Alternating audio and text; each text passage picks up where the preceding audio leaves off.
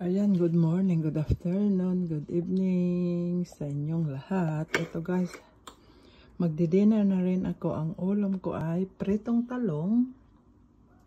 Sausawan ko ay soya sauce at saka lemon na may sili. At saka siyempre guys, ang tuyo at sausawan ko ay bawang na may suka.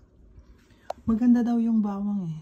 And may konting sibuyas guys. So yan guys para sa high natin. Pero ang tuyo, bawal daw.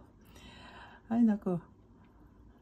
Habang buhay tayo, kakainin natin ang gusto natin, di ba?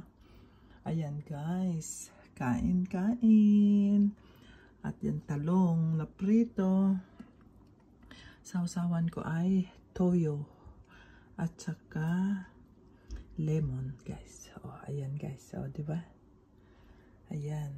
Ito naman ay bawang at saka dato puti at saka may sibuyas at saka isang sili lang. At saka ito daing guys. Nako ang diet ko guys. Nasira na ang diet ko dito. Never mind.